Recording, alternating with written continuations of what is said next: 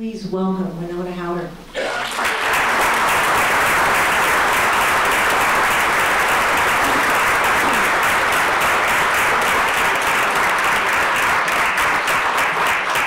Thanks so much, Claire. Well, I am thrilled to be in Berkeley for many reasons. First of all, I love being in a place where I can actually admit that I was a hippie. Up in a farm in Virginia in the 60s, and while many of you were organizing the free speech movement, I was plucking chicken feathers, squishing um, potato bugs and chopping wood for the cook stove and trying to figure out how I could ever get to Berkeley. So it's always uh, a pleasure to be here. Plus, it's uh, uh, about 11 degrees out at my farm and our water is frozen tonight. So I'm just really, really lucky. So I am a big fan of the good food movement and the local food movement, um, but it's become very frustrating to try to generate a lot of political activity. So I've been thinking about writing a book on food issues for a long time. I was out at a, an event in the Midwest in early 2011. I was writing an article on the difficulties of farming, and I was talking to some conventional commodity farmers, corn and soy, the things people grow out in the Midwest, and hearing about their the, the difficult time that they have in making a living, especially if you don't have eight, nine hundred acres, very difficult for farmers to actually um, make even the cost of production. And one farmer in particular was telling me about how difficult it is um, at his farm and that he's about to give it up and how sad he was that he wouldn't pass it on to his children. The next day I went to a conference and I was uh, listening to a food panel and there was a well-known advocate there talking about organic food and she was asked by someone in the audience, why is organic food so expensive? And she gave the answer that many people in the good food movement give. It's kind of a shortcut answer. Oh, it's the subsidies and she basically said that farmers are welfare queens, and so not so, in so many words. Well, I went home the next day and I started writing an outline for Foodopoly because it's a lot more complex than that. And unfortunately today, small and mid-sized, even conventional farms are basically barely making a living. So that's where I want to begin our discussion tonight because I'm a little bit of a contrarian and because we hear too often that the problem is just subsidies. And I'm not here to justify the subsidy system, but you know, it's obviously bad public policy, but it's it's a symptom of a sick system. It's a band-aid that's been put over a system where there's overproduction of grains and farmers can't make a living because of the low cost because of this overproduction. So it's really important to understand how we got here. How did we get to this subsidy system? Because I think we need to know how we got here before we can figure out where we need to go. Now we know that both liberals and right-wingers usually focus their discussion on farm policy on the subsidy issue. And they usually start by saying that only the largest farms get the subsidies. Now you probably remember that saying that Mark Twain popularized, lies, damned lies, and statistics? Well, a close look at the USDA's numbers shows that this is exactly what's happened. One third of the 2.2 million farmers that they talk about make under, uh, they have under $1,000 in sales, and two thirds have under $10,000 in sales. These small businesses are like my good friend down the road who grows flowers. She does this as a hobby. She grows them for restaurants during the summer. She doesn't really consider herself a farmer, but she likes gardening. She makes a little bit of money. She's retired and she has an off-farm income. Or maybe it's like my neighbor down the road who has a, a vineyard for wine grapes. He is retired military, has a good pension, enjoys having a vineyard, makes definitely under $10,000 in sales. He has a good income outside of the farm. These people are counted in the USDA's statistics. So in reality, we only have a, just under a million full-time farmers, people who spend all of their time on the farm farming and who consider themselves actual farmers. And 82% of them, small, medium, and the large ones, receive subsidies. Now, it is true that the largest farms receive the largest share of farm subsidies, and that some politicians and urban residents also unfairly benefit because they actually own the land. Most farmers have to rent land. And after accounting for all of the costs of farming, small and medium farms netted just, just over $19,000 from farming. And government payments, shockingly, make up half of that income. The income of full-time farmers today is 19% below the U.S. average. One of the major problems that farmers face is a consolidation in all of industries that they depend on. Only a few firms control the market, and that means that farmers pay more for everything, from fuel and equipment to fertilizer and seeds. A few major chemical and pharmaceutical giants now dominate the seed industry because they own the patents on specific crop traits. And as you probably know, Monsanto's acquired more than 60 different seed companies and controls 70% of GM corn and 99% of soybeans planted in the U.S. Since the economic crisis, corn and soy prices have risen 32%. And it's not just GE seeds that have skyrocketed in price.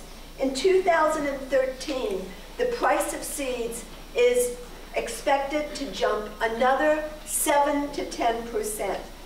Farmers also sell into a very highly concentrated market with just a few firms bidding for crops and livestock.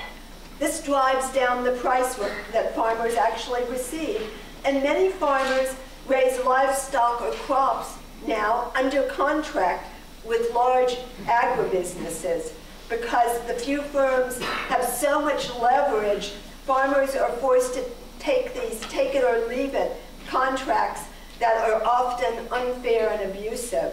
Additionally, because of climate change, farmers are also dealing with weather and drought and that's making it more difficult to survive. When these farms go bankrupt or the farmer gives up trying to make a living, these small and mid-sized farms are gobbled up by the larger agribusiness enterprises. In the U.S., out of the just under 1 million farms, there are 115,000 very, very large farm, farms Many of them use contract labor. We don't want a situation where we lose more family farms to these giant farm corporations that are often integrated with the food processing companies. So we need to fix these problems now before we eliminate the support that farmers depend on. To do that, we need to really look at how we got into this situation. Starting in the New Deal, the government created programs to deal with overproduction and to create more prosperity for farm families because they'd suffered so much during the Depression. Overproducing crops has always been the bane of farmers because it drives the price down below the cost of production. And in the past, it's been supply management programs that stop this problem. This, is, this addresses the problem of individual farmers trying to grow as much as possible to squeeze as much money as they can out of their land and equipment in an attempt to at least break even. When all the producers do this, we overproduction is rampant, and then the prices drop. And when the prices drop so low that farmers can't stay in business, They sell out, as I said before, to larger producers. And that's what's led to the concentration of farmland into the hands of these big agribusinesses. So in 1942, several businessmen and an expert in advertising and consumer research put together a business organization that played a very powerful role in shaping the post-World War II economy and society, not just agriculture, although they played a very significant role in agriculture. It was called the Committee for Economic Development. It was a place where the leaders of business could hammer out their differences on economic policy and then use this new science of public relations to actually promote their agreed upon agenda. And among the founders of this organization were Paul Hoffman, who was the president of Studebaker, William Benton, who was the inventor of modern consumer research and polling, and Marion Folsom, uh, who was an Eastman Kodak executive. and eventually, most of the titans of industry joined this Committee for Economic Development, the CED for short. It ended up representing industry, banks, railroads, the grain traders, and other corporate interests. And one of their agendas was to, and this is a quote, get those boys off the farm and to create a cheap labor pool for industry. So immediately after the CED was formed, they began mapping out this post-war program to expand chemical-intensive agriculture and to grant industrial and financial interests more control over it. And they had another agenda beyond these cheap commodities and the cheap labor that they wanted for factories and manufacturing. The leaders of the CED also feared the political power of farmers. Because as we all know, until the New Deal, farmers had been on this economic roller coaster for decades. And they were the political force that was on the vanguard of populism and protest against the abuses of big business. And they were also joining with labor, um, getting involved in elections. They, they were a political force to be reckoned with. So the CED didn't relish the idea of an educated and prosperous rural population having political power, especially as these men came back from World War II. Now, I'm not suggesting that this was some kind of wild conspiracy. This is simply people of like mind and like class talking to one another and acting in what they perceived as their self-interest. And you know, obviously, many, maybe some of these men actually thought it was in the best interest of the nation. We can give them the uh, benefit of the doubt. Um, these men represented disparate economic interests, and they were technocrats. They viewed the, view, the world through an urban lens, and their definition of reforming agriculture meant substituting capital for farm labor and replacing small farms with large, vertically integrated ones that could supply the food companies with the needed raw materials. And in fact, when the anthropologist Walter Goldschmidt published a report about how communities with more small and moderate-sized farms had higher overall incomes and education levels and more civic and social organizations, the U USDA actually suppressed those findings, and that study was actually burned in the streets here in California. So after World War II, uh, the USDA began also embracing the agenda uh, that was the same as the CEDs. Uh, a USDA report noted that of the existing 6 million farms, 2.5 million did not meet the agency's production criteria. And the agency's goal was to direct the surplus manpower into more productive non-agriculture activities. So the CED and the business, business interests that they represented lobbied really hard against the New Deal farm programs in the 1940s. And they began to successfully chip away at the programs in the 1950s during the Eisenhower administration. Of course, this was the age of red baiting, and so it was easy to start discrediting farm programs and farmers. In 1962, the CED published a report that was prepared by 50 influential business leaders and 18 economists from leading universities. It was called an adaptive program for agriculture, and it laid out a plan for drastically reducing the number of farmers so as to create a labor pool for industry. This would be accomplished by getting people out of agriculture before they were committed to it as a career. It recommended stopping the promotion of agriculture and vocational training, re-educating rural young men for jobs in industry, and pro providing help for these young men to relocate to places where there were factories and where there were new skills needed.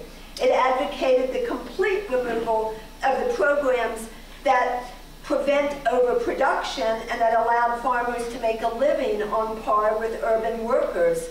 The report said that these policies would result in fewer workers in agriculture working a smaller number of farms of much greater average size. This 1962 CED report also included a vision for the globalization of food production through a free trade agenda. And in 1964, the CED released a report, Trade Negotiations for a Better Free World Economy. This became a roadmap that led to the World Trade Organization and the bilateral trade agreements that are still being negotiated today. The CED report said restrictions to world trade prevent the free flow of goods, services, and capital from where they are available and to where they are needed. This obstruction prevents efficiency. We're always hearing about efficiency uh, in the use of the world's human and material resources. Now, it took more than 30 years for the CED to actually achieve their goals, to eliminate the New Deal programs that prevented overproduction and enabled farmers to make a living. And it was actually during the Clinton administration, just after the U.S. joined the World Trade Organization, that the very controversial 1996 Farm Bill passed. It was known as Freedom to Farm. Farmers were quickly calling it Freedom to Fail. And to line up with the requirements for joining the WTO, this legislation completed the deregulation that had begun in the 1950s and continued through the 1960s and 70s. It stopped all government intervention in commodity markets. The most immediate result of that legislation was the dramatic increase of commodities like corn and soy. Crop prices plunged the 1999 price of corn was 50% below the 1996 level. Soy was down 41%. Farmers were in major economic distress, and you can amaze, uh, imagine the pressure on Congress, and many of you may remember that period of history. So rather than doing something about overproduction, uh, the policymakers, members of Congress, didn't address the primary cause of overproduction, which was deregulation. Instead, Congress used taxpayer money to keep farmers afloat. Emergency payments were instituted in 1998. These payments were made permanent in 2002. Thus, the subsidy system was born.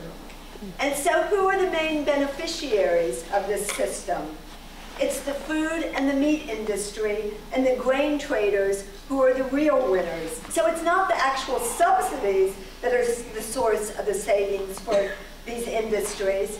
The subsidies just quell the political problems for, for Congress in times when prices are low. But it's the actual lower price and the price volatility that benefits the grain traders and these industries. Removing the federal policies that kept overproduction in check and commodity prices stable made grain prices plummet and it, it, actually increased the profitability of producing junk food and of raising animals on factory farms. Researchers at Tufts University estimate that the soft drink company saved a billion dollars during about the first seven years. They estimate that the large meat companies saved nearly $4 billion on animal feed between 1997 and 2005. This was the, the period when industrialized animal feeding operations, uh, their number really shot up. So obviously it's had the opposite effect on farmers, and it's only the very large farms that can be profitable. The share of the retail dollar that went to farmers before 1984 was 35 cents. Today, the average share of the retail food dollar that goes to farmers is 15 cents. Mm. And for commodities like corn and soy, it's much, much lower. Let's look at corn-heavy products as an example. Farmers receive four or five cents from the sale of a box, from the large box of corn flakes. They make two or three cents from the sale of a full-size bag of corn chips. And the content of a soda in the form of high fructose corn syrup nets the farmer just under two cents out of each consumer dollar. The commodity price, though, really constitutes such a tiny share of the final retail price of food that it's almost negligible. So it's easy to blame farmers for junk food, but the main drivers and winners from our current food system are the multinational industries that trade commodities or use them as ingredients in food. And let's think about how the typical American eats. 90% of the food budget goes towards buying processed food. I mean, that is a really shocking statistic. 84% of Americans feed their children at a fast food restaurant at least once a week. And when you get down to the reasons that people eat a diet of processed food, it's basically that companies have hijacked the American taste bud. They've created food products that are actually addictive. And it's been very well documented by uh, people like the former Surgeon General David Kessler that the food industry scientists actually use fat, sugar, and salt to design processed foods that act in the brain's reward center like tobacco or other addictive substances. And this is one of the reasons that Americans are hooked on processed food, even though there are many recent studies that show a relationship between processed food and cancer. And we all know they also use billions of dollars in slick advertising to convince consumers to buy their products. And this is especially pervasive with children. Over the course of a year, a child is exposed to about 5,000 TV ads for junk food. Today, the average child between 2 and 18 drinks twice as much soda and one-third less milk than in 1970. And we know that children play a major role in deciding what foods are purchased at the grocery store. Now, I'm wondering if any of you have ever bought these, any of these products. I know I have. Pepsi, Gatorade, Tropicana, Lipton Tea, Sierra Mist, Mugs Root Beer, Amp Energy, Sobe Drinks, Aquafina, Water, Naked Juice, Captain Crunch, Quaker Cereal, Aunt Jemima's Pancakes, Puffed Wheat, Rice-A-Roni, Lay's Potato Chips, Sun Chips, Cheetos, Tostitos, Cracker Jacks, Hickory Sticks, Doritos, or Ruffles. Now, what the consumer probably doesn't realize is that all of those particular brands and many more that I didn't mention are actually owned by the very largest food company in the country, and it's the second largest food company in the world, Pepsi. And we are being very generous to call Pepsi a food company. That's right. Pepsi had 64 billion in sales and 6.4 billion profits in 2011. Or the consumer might buy a Nestle product. These include Gerber, Powerbar, Coffee Mate, Carnation, Toll House, and 6,000 other products. I won't name them all. Uh, Nestle had 94 billion in sales and 10.5 billion in profits. 50% of all groceries in the U.S. Walmart leads the pack, followed by Kroger, Costco, and Target. And in many, many markets, these stores dominate 70 to 90% of sales, leaving consumers with almost no choices. So these extremely large multinational companies extend their political and economic power through a web of business, social, political, and organizational connections. For instance, the top 20 food companies have 436 shared board members playing decision-making roles in multiple venues. The food industry often speaks with one voice to cajole, to threaten, and unduly influence Congress, the regulatory agencies, and increasingly international institutions. The funding they provide to uh, universities guides and defines scientific research, and it's the basis for most of the regulatory decisions regarding food. And we all know that the food industry has partnered with the biotech industry, which has also become so powerful that it can literally, by public policy, spent more than a half billion dollars over a 10-year period on lobbying and campaign contributions. Uh, Food and Water Watch did a report on this lobbying. There are 100 biotech lobbying firms uh, and in Washington. They've hired 13 members of Congress and 300 former staffers for Congress and the White House. If we wonder why um, um, the GE industry has such an easy time getting their products approved. So we all know that biotechnology is just a giant experiment and nobody really knows what the long-term unintended consequences will be. And it's been allowed to move forward without any adequate regulation. So today we see that Walmart is partnering with Monsanto to create new markets for genetically engineered crops. This is things like the sweet corn. Monsanto is aiming for 40% of the sweet corn crop, and it needs Walmart to help accomplish this. Um, many activist organizations have tried to put pressure on Walmart not to commercialize this product. And it's one of the first GE products that's not an ingredient of a processed food. It's the actual food that's going to be on your dinner plate. And it's one of the reasons that it's so important that this battle over labeling genetically engineered food continues and is successful. Now, we've heard some food advocates say that Walmart can re-regionalize the food system. They're so big that they can actually play a beneficial role. Well, I have to beg to differ.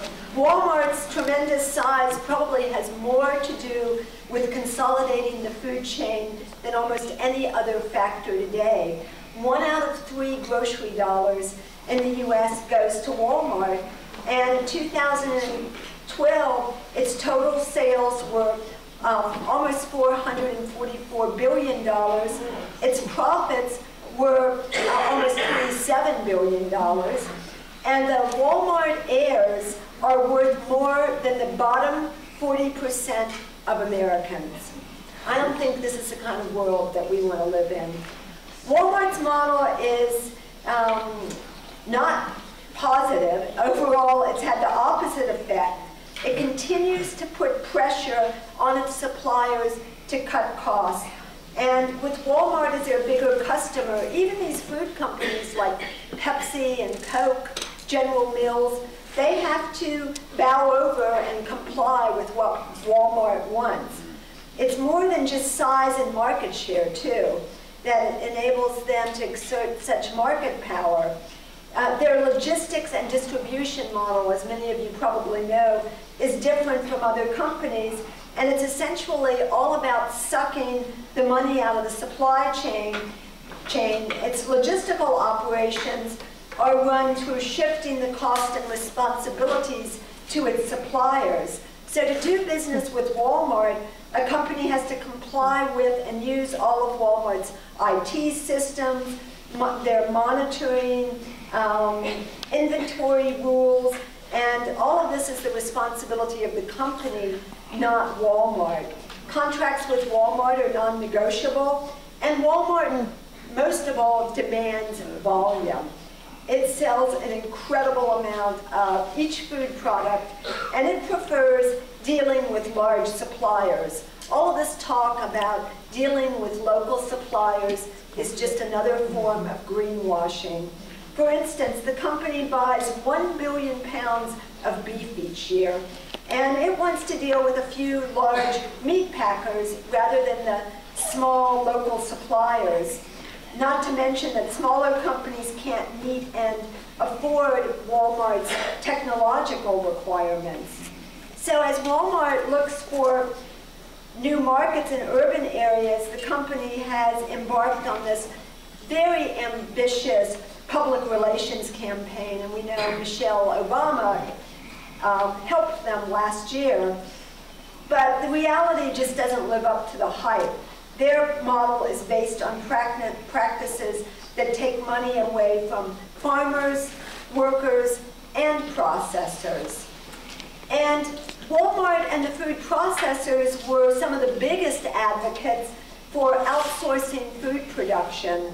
These companies find it much more advantageous to produce and process food for the developing world because it's um, the cheaper labor and the weaker environmental regulations, the more compliant governments, and uh, also the opportunity to open new markets for junk food. And the trade agreements have had just a massive impact on our food system. After the agreements enforced by the WTO went into effect and a trade deal with China was approved, China became one of the one of the five largest exporters of fruits and vegetables to the U.S. for processing. Imports have displaced domestic production in the produce aisle and contributed to the decline in farms. Even here in California, that is true. Imported produce is more likely to have been produced with dangerous pesticides and food safety issues are a continuing problem. I spent some time in the Central Valley writing this book and I learned that only the very largest packers and shippers can survive today and they all have international operations. It's the only way that they can do business and actually make a profit. Since the liberalization of trade policy, the corporations that source globally can provide those very large quantities of organic fruits and vegetables required by stores like Walmart or Whole Foods and other large players in the grocery industry. So unsurprisingly, the outsourcing of organic production has helped transform the organics industry as well, and it's helped facilitate the same kind of consolidation that we see in conventional foods. And um, the result is that the 14 of the 20 largest food companies that dominate the 14 of the largest 20 food companies also dominate the organics industry. Those are General Mills, Kellogg's, Kraft, Dean, Coke, Pepsi, and ConAgra. And as the industries become more consolidated, the companies have lobbied to weaken the organic standards. And that's one of the things, we may have problems with the organic standards, it's not perfect, but we certainly don't want to see its integrity further weakened. Among the things that they've successfully lobbied for is using non-organic and synthetic additives to foods labeled organic, designating synthetic ingredients as non-synthetic, allowing some antibiotics to be used in food production, and allowing synthetic additives in organic infant food. So I think it's appropriate that we talk about Whole Foods since John Mackey is on a PR trip here, putting his foot in his mouth quite often. Um, Whole Foods dominates the organics, the retail sale of organics. And over the past 20 years, it's acquired all of its national competitors. The fact that the Federal Trade Commission allowed Whole Foods to acquire its closest competitor, Wild Oats Market, uh, it just is proof that the agency uh, has never seen uh, a merger or acquisition that it doesn't love. And part of what Whole, Whole Foods actually sells is a type of ambiance. And fitting organic products into a gourmet slot is part of their marketing strategy. So it's increasingly begun to sell conventional foods, the very same foods that you find at the grocery store. But this is a really sneaky practice because when people go to Whole Foods, they think that the product's been screened and that it's somehow better just because it's been purchased there. Uh, for instance, most of the meat sold at Whole Foods is under their five-tier global animal partnership. And in most parts of the country, um, the meat is from the lowest tiers. I see it's from a higher tier here in uh, uh, the Bay Area. I walked through one of the Whole Foods stores. I was curious about uh, how they're marketing here. But in the uh, store down the block from my office in DC, um, they are selling um, one and two and three tiered meat. And there's a very low entry level uh, for these products. And in fact, the uh, animals can be raised on feedlots. Uh, it doesn't require that slaughter plants be audited, and animals can be transported without rest feed or water for up to 25 hours. So, you know, these self-regulatory systems and these uh, voluntary label, labeling systems are really all about um, marketing more than they're actually about maintaining the quality of the food. So one of the things that I want to examine is what John Mackey, um, the, obviously the CEO of Whole Foods, is saying about the cost of food. I, I was really disturbed by what he was saying this week in an interview with the New York Times. He said that people are paying 7% of their income on food. He said, quote, people are historically not well informed about food prices. I mean, let's talk about being condescending. He was referring with the 7% to food eaten at home, and this is taken from the USDA. The USDA uses 9% and it counts food eaten out as well as food eaten at home. And I'm afraid this is a, another case of lies, damp lies, and statistics. Both of these figures um, are very misleading because they include as income employer-paid health benefits and pension plans as income. I mean, that I don't think that's disposable income. It includes Medicare funding, uh, food stamps or the SNAP program and WIC funding, women, infant, and children. And it artificially raises the income and lowers the percentage spent on food. And, and then it's an average as well, so it doesn't look individually at, at what different classes of people are spending in food. You know, I think most of us know that food isn't becoming cheaper because it isn't. The same dollars are actually buying less today, the food companies are actually shrinking the package amounts uh, and increasing prices at the same time. And food inflation has significantly outpaced overall inflation over the past uh, decade, and it's even worse since the recession. Consumer food prices have gone up more than 3% every year over the past decade. Those are statistics from the uh, Bureau of uh, labor statistics. Food price hikes have exceeded also the typical wage and salary increases, at least for non-supervisors, and that's most of the population. And most importantly, these figures ignores the significant income disparity and the growing stratification that we have in this, uh, in this country. Now, the important point about the cost of organic and so-called natural food is that Whole Foods sources its organic and natural products through an arrangement with the largest and most powerful uh, distribution company or distribution of organic food in the country. And this is a company that most people have never heard of, even though it plays such an important part in our diet. It's called United Natural Foods And unfortunately, distribution is one of the least transparent aspects of the organics industry. Uh, this company, UNFI for short, is publicly traded and it dominates the distribution of natural and organic foods. It has no national competitor.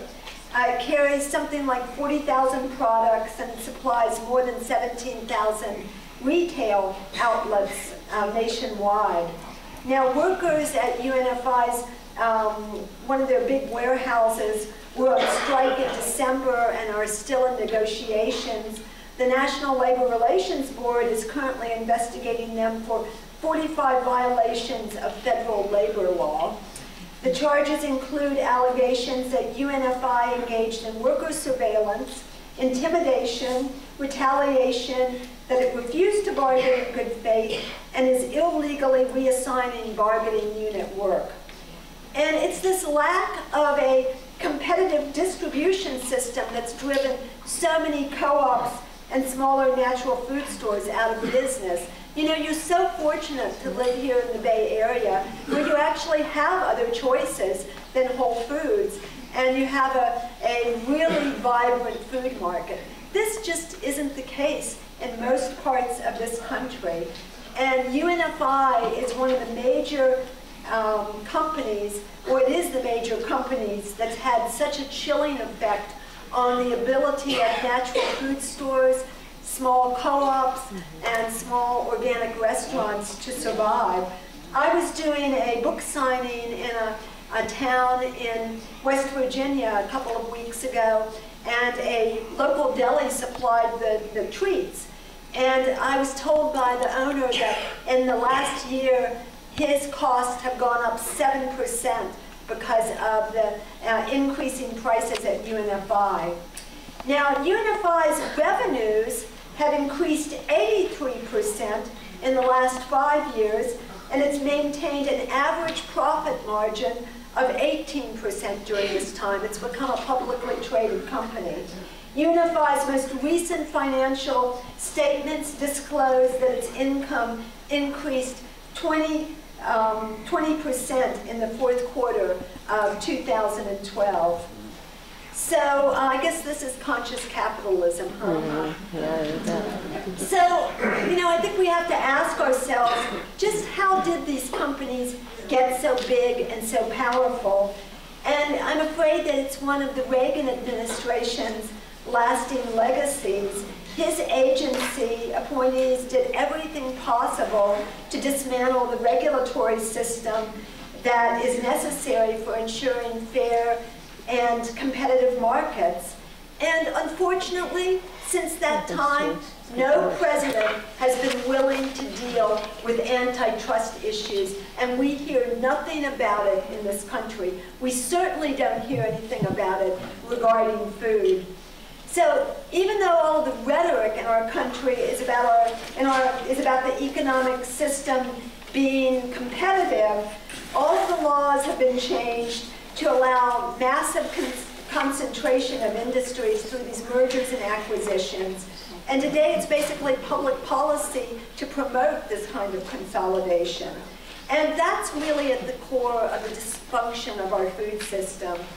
If we're really going to have a healthy food system, we're going to have to break up the, the foodopoly. And we can't allow the marketplace to be controlled top to bottom by just a few, few companies. This means building real political power and working to reclaim our democracy. I think the two go hand in hand.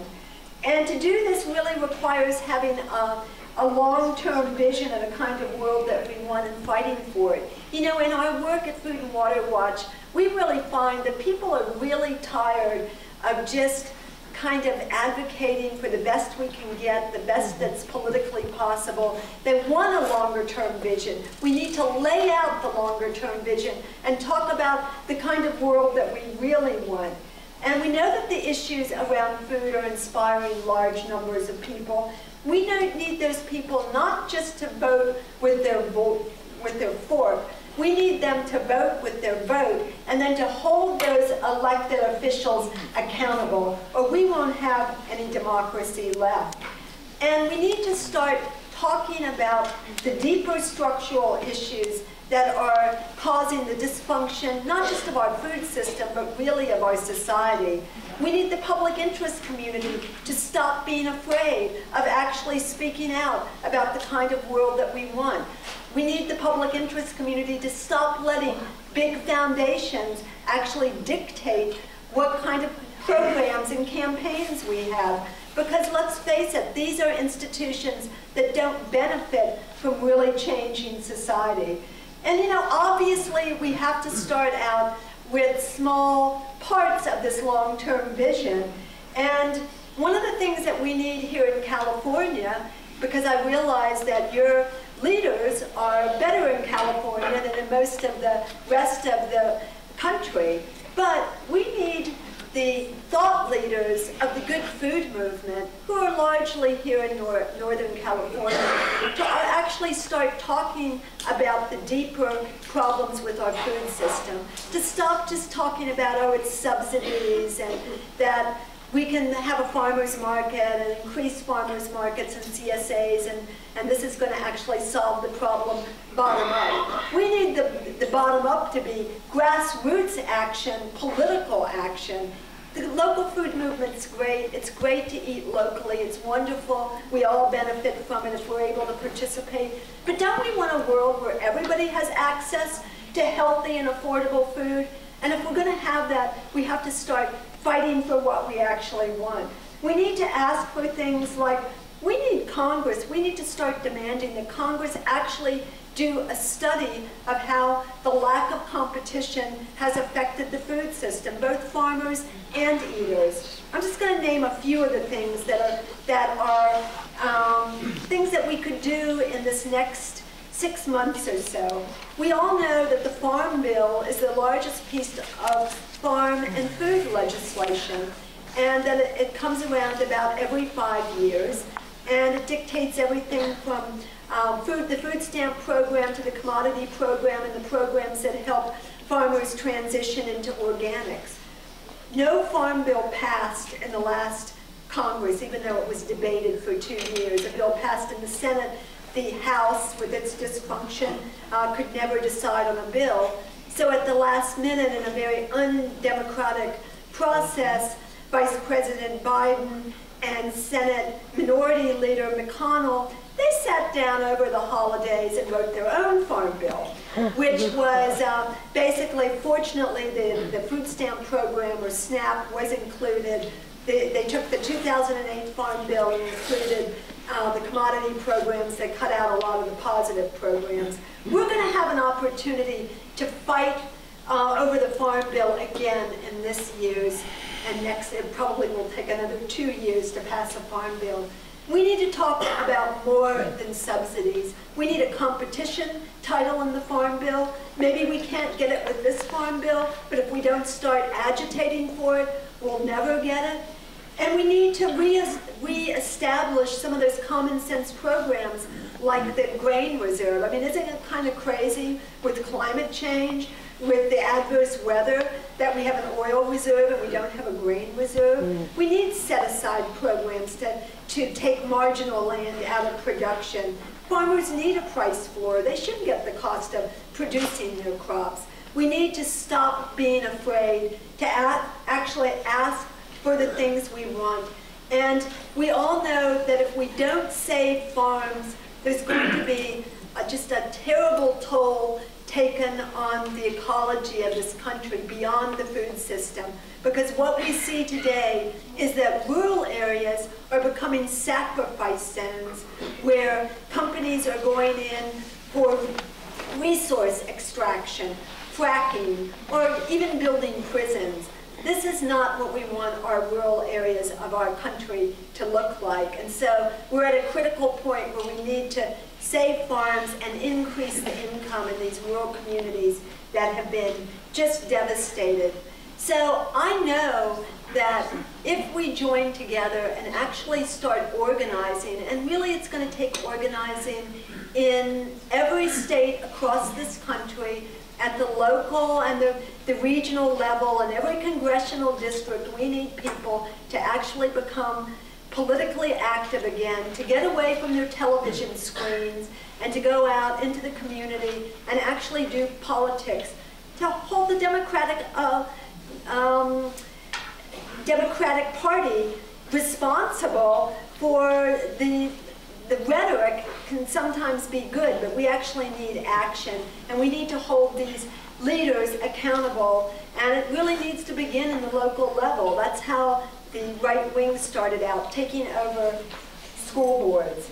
We know that we have an unbroken history in this country of organizing for social change. We've seen it in issue after issue. Took 50 years to stop child labor in this country. We can dramatically change things. Saving the food system should be part of saving our democracy. And I know if we work together, we can actually do this. We can't give up. We can't say it's too hard. We have to take on these larger structural issues. And we look forward in engaging in this together. So thanks.